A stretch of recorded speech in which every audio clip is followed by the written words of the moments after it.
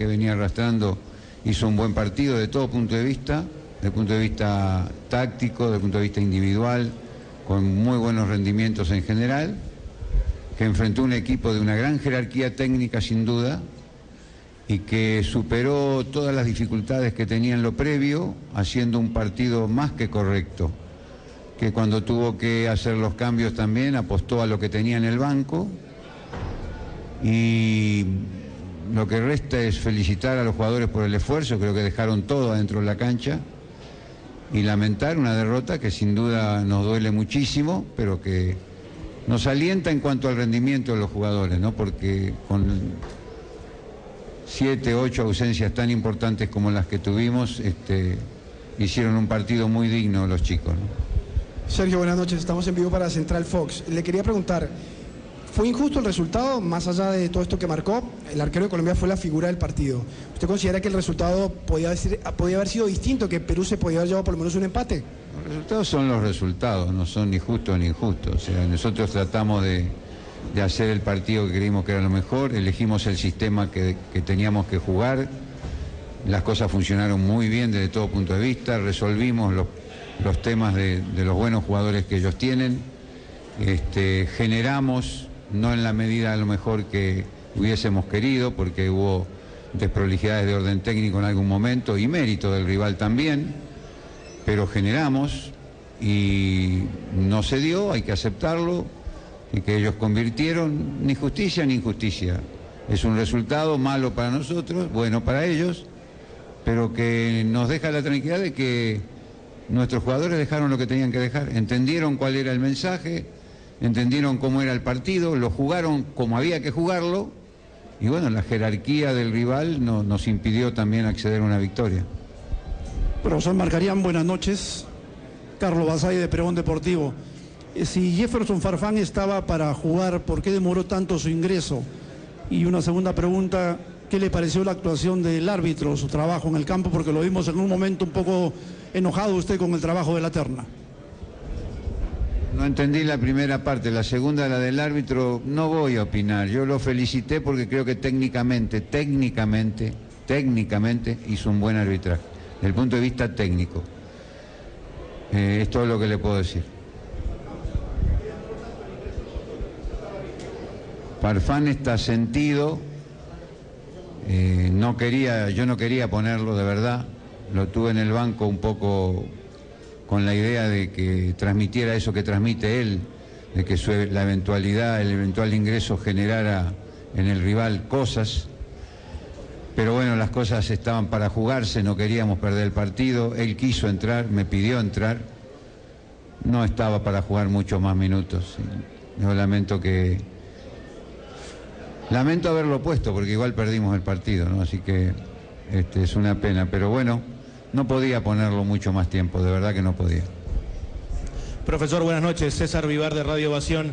Eh, sé que el momento es complicado. En Copa América, luego del partido con Chile, habló usted de un camarín muy complicado, muy feo el camarín que, dejó después del partido con Chile. ¿Cómo ha visto a los muchachos ahora? Usted viene de ahí y sobre todo pensando ya de cara al siguiente rival que es Uruguay.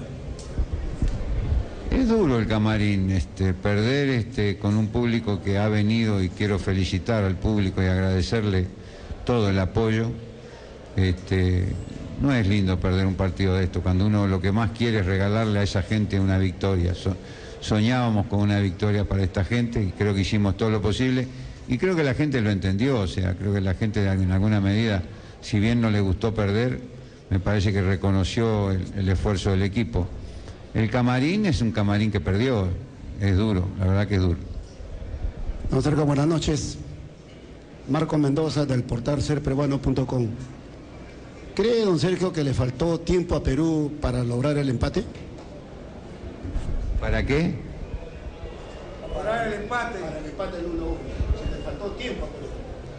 Sí, yo no, yo no, yo no, yo no controlo el tiempo, la verdad que no acostumbro a hacerlo, pregunto.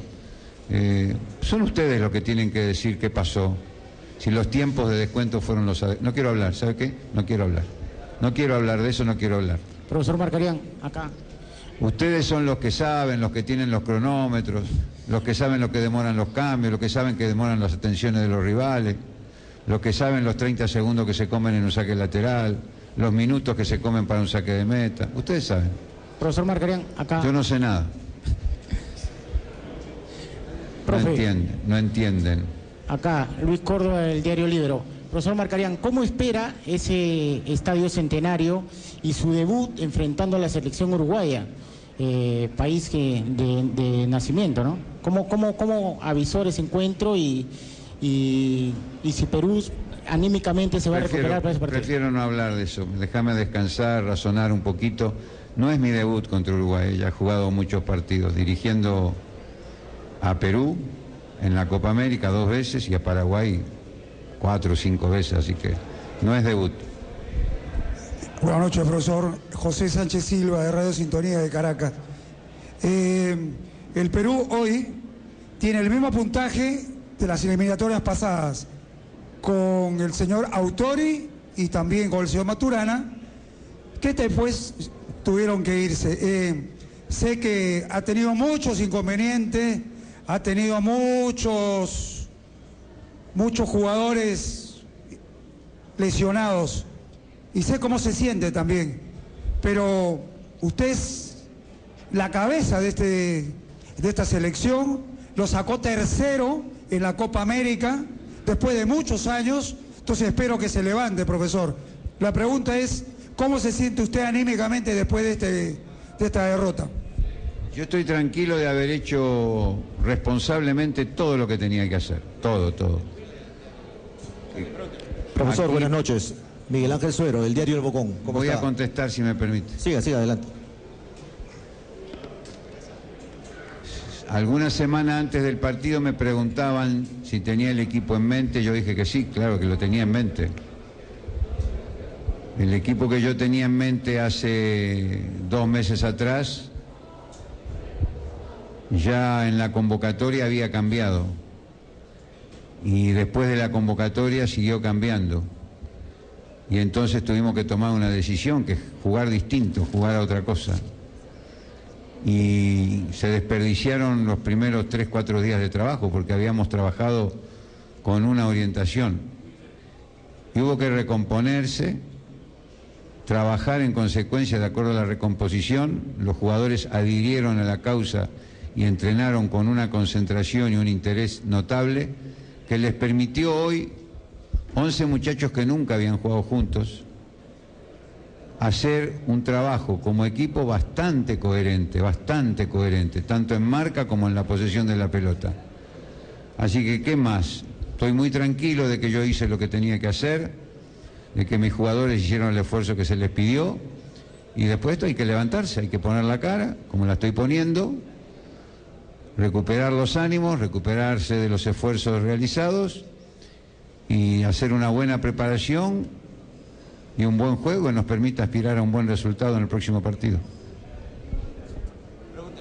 Profesor, buenas noches. Miguel Ángel del Bocón, ¿cómo está? Eh, ¿Cuánto cambiará Perú en cuanto a nombres eh, para el próximo partido? De los jugadores lesionados, eh, ¿hay alguno que se podría recuperar eh, según el parte médico? Tengo esperanza, pero, pero no quiero arriesgar a dar, a dar líneas de...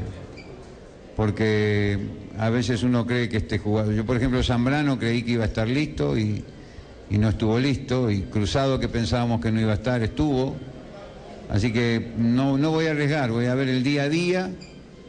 Vamos a regenerar seguramente mañana y el martes empezar a tirar alguna idea desde el punto de vista táctico para el partido que viene, pero seguramente en el curso de la semana iremos viendo con qué jugadores podremos ir contando.